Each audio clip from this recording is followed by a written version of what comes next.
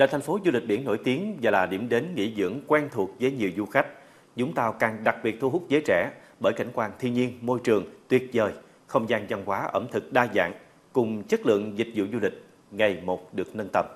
Trong câu chuyện Ai thế nào gì sao, mời quý vị cùng khám phá vẻ đẹp du lịch phố biển thông qua những lan tỏa trên không gian mạng của một bộ phận giới trẻ yêu Vũng Tàu.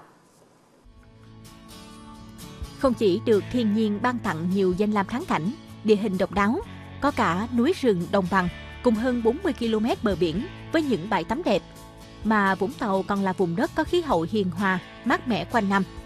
Thế nên trong biên niên lịch sử du lịch Việt Nam, Vũng Tàu được định danh là thành phố du lịch sớm nhất ở Việt Nam từ thời Pháp thuộc. Vũng Tàu cũng hội tụ cư dân khắp các vùng miền cả nước, lẫn các chuyên gia, người nước ngoài đến sinh sống, làm việc, nên văn hóa ẩm thực của phố biển phong phú đa dạng.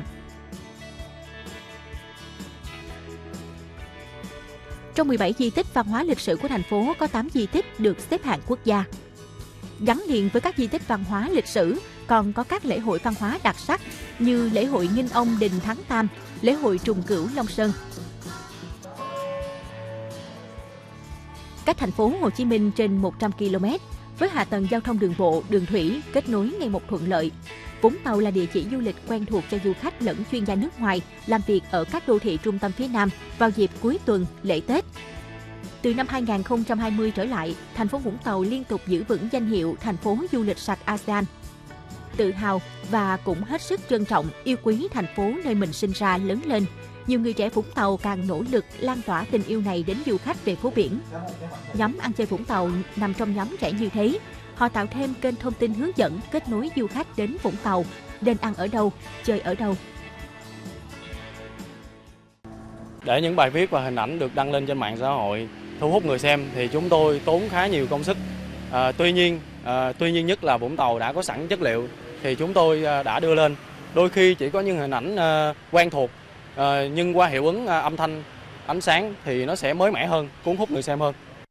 Tôi thấy thông tin các bạn chia sẻ khá là hữu ích, không chỉ với du khách mà còn là với cả người dân Bà Rịa Vũng Tàu. Những lúc rảnh rỗi thì lướt trang này tôi không cần phải tốn thời gian để suy nghĩ coi hôm nay ăn gì, làm gì, đi chơi ở đâu. Đi du lịch Vũng Tàu ấy thì tôi thường xem review của những cái bạn xe reviewer ở trên cái trang mà ăn chơi Vũng Tàu ấy thì uh, có những cái bạn review rất là hay nên là tôi tham khảo và đi theo những cái review của bạn đó.